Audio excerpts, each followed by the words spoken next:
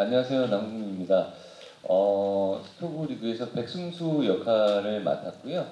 음, 너무 좋은 작가님 그리고 감독님을 만나게 돼서 너무 현장에서 즐겁고 이렇게 행복하게 작업 잘 하고 있습니다. 오늘 이제 드디어 첫 방을 하게 되는데 아, 좋은 드라마가 나올 거라고 믿어 의심치 않습니다. 네. 네, 아 제가 캐릭터를 고른 이유는요. 어, 캐릭터를 골랐다기보다도 대본을 1, 2, 3, 4부를 받아봤을 때 너무 짜임새가 좋고 단숨에 익혀내갖고 너무 재밌었기 때문에 어, 이 드라마를 하게 됐고 하다 보니까 거기 나와 있는 어, 백승수라는 단장을 하게 됐고요. 어, 연기에 임하는 자세는 뭐, 뭐 감독님한테도 항상 상의하고 하지만 너무 부족한 걸 잘 알고 있기 때문에 어떻게 하면 좀 더 잘할 수 있을까 그리고 어, 내 스스로 어떻게 하면 더 최선의 노력을 다할까 어, 겸손한 자세로 항상 최선을 다해서 노력을 하려고 하고 그리고 특히 감독님께서 연기를 보는 눈이 좀 날카로우신 것 같아요. 어떤 그래서 감독님한테도 어떤 사항이나 지적하실 게 있으면 꼭 지적질을 좀 많이 해주십시오 하면서 감독님한테 지적을 많이 받으려고 노력을 하면서 연기를 하고 있습니다. 네, 그리고 또 그런 어떤 요구 사항이 들어왔을 때 그거를 만족시켜 나갔을 때 어떤 그 기분이 되게 좋더라고요. 그만큼 더 좋은 연기를 더 좋은 드라마를 만들고 있다는 생각에 그래서 어, 그런 식으로 노력하고 있습니다. 네. 어, 일단은 제가 알기로는 그 작가 선생님께서 굉장히 좀 오랫동안 준비를 한 걸로 알고 있습니다. 그런 디테일한 부분에 대해서 저는 사실은 뭐 개인적으로 제가 야구를 잘 알지는 못하지만 그런 부분에 대해서 그냥 작가 선생님이 오랫동안 써온 글에 대해서 확신과 믿음을 가지고 일하고 있고요. 그리고 제가 연기하는 단장은 어차피 어, 제 대사 중에 그런 거 있거든요. 그, 아, 그래도 룰 정도는 알고 있습니다. 야구에 대해서.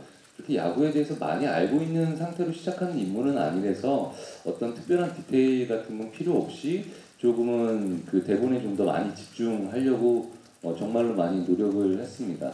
왜냐하면 이 친구가 사실은 굉장히 사람들과의 거리감을 두는 친구라 좀 굉장히 딱딱하고 말투 자체도 단아까 수준이거든요. 그러니까 군인이 아닌데 다 하고 나하고 까 뭐 이걸 위주로 얘기를 해서 그런 부분들을 얼마나 표현을 많이 하지 않으면서 묻어낼 수 있을까에 대해서 좀 많이 연구를 하면서 연기를 했고요.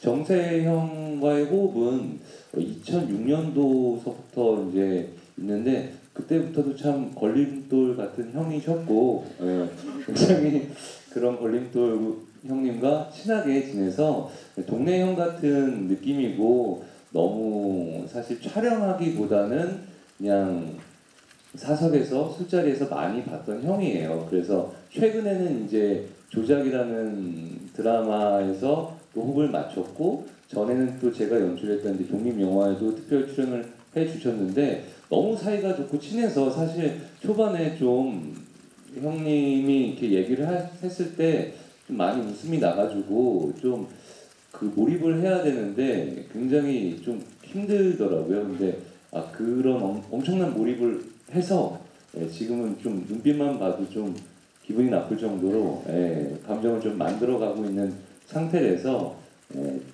어, ready action 하면 정말 서로를 싫어하고 어, 컷하면 바로 웃을 수 있는 어, 그런 어느 정도의 그런 마음가짐은 만들어냈습니다. 네. 저는 뭐 감독님 이렇게 말씀드리면 좀 부담스러우실 수 있는데 좋은 대벽, 대본과 훌륭한 연출력이라고 생각합니다. 네. 네. 어, 일단은 뭐 제가 그림 좀 봤는데 어, 너무 잘 해서 좀 너무 재밌을 것 같고요. 네. 그리고 대본 자체가 너무 짜임새가 너무 좋기 때문에 어, 이 드라마를 보면서 저런 씬은 왜 나왔지? 라고 생각되는 부분이 한 2회 정도 있다가 또 해결되는 부분들도 있고 어, 어떤 떡밥을 뿌려놓은 거를 회수를 떡밥 같지 않게 뿌려놓는다면 회수를 다 해드릴 거기 때문에 그런 구성의 디테일함과 짜임새 그리고 감독님의 연출력을 꼭 집중해서 봐주십시오.